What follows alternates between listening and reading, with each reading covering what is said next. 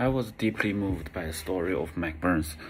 One of the most impactful moments was witnessing him finally getting to play handball with his friends on the playground. The term they used in video, magnification, wasn't just a term. It actually shows the relentless efforts of his friends and family and their dedication to ensure Mike was able to feel included in this neighborhood. I tried to listen with my heart and give my undivided attention while watching the video. It made me feel connected to his experience. This reminds me of the days when I was struggling with English, feeling like an outsider in my high school. Yet my host family and my classmates were extremely helpful. They didn't abandon me. Instead, they helped me to understand their culture and let me have feeling of family. Um, and when I lis- listened to the video, I used the concept of level listening. I was naturally engaged with story optimistically, thinking over if I'm a I'm the educator for Mike, what can I do? And I imagined alternative future for Mike and others like him. How can we as educators better help students with diverse needs? Like how can we provide them to be more included in this environment?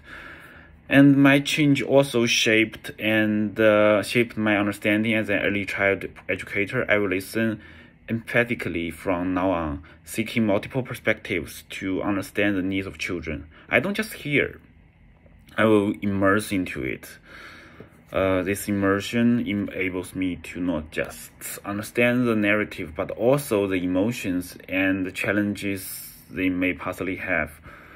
Um, the communication is essential to meet children's needs. As mentioned in Reggio Emilia, uh, we should know the expectations of children by listening their questions, and we can adjust our teaching method accordingly for any unexpected situation. When I listen deeply, I'm better equipped and understand the individuality of each child. Children's opinions should be valued by deep listening through day-to-day conversation. Um, and moreover, I think this kind of listening acts as a catalyst for my advocates uh, teaching.